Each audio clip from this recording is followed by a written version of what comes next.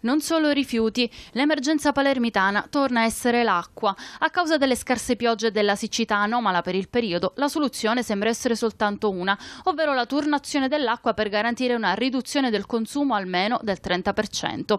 A metterlo in chiaro una relazione del Dipartimento Acque e Rifiuti della Regione, documento stilato vista la decisione della settimana scorsa in concerto con Comune e AMAP di chiedere lo stato di calamità naturale al governo nazionale. Out-out della presidente di AMAP Maria Prestigiacomo che ha dichiarato prima la richiesta dello stato di calamità, poi procederemo con la turnazione. Stato e Regione si devono prendere la responsabilità di questa turnazione visto che il Comune ed io chiediamo che venga dichiarato lo stato di calamità da un anno e il governo regionale si è sempre rifiutato di darvi seguito dito puntato anche contro il governo nazionale che lo scorso anno avrebbe imposto ad AMAP di riversare in mare milioni di metri cubi d'acqua, il 40% della capacità dell'invaso di Rosa Marina, per liberarlo dai residui.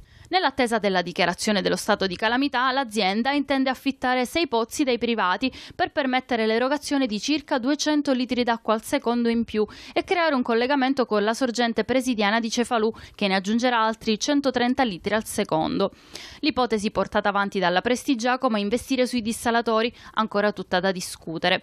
Intervenuto anche l'ex assessore, oggi consigliere comunale di Sinistra Comune, Giusto Catania.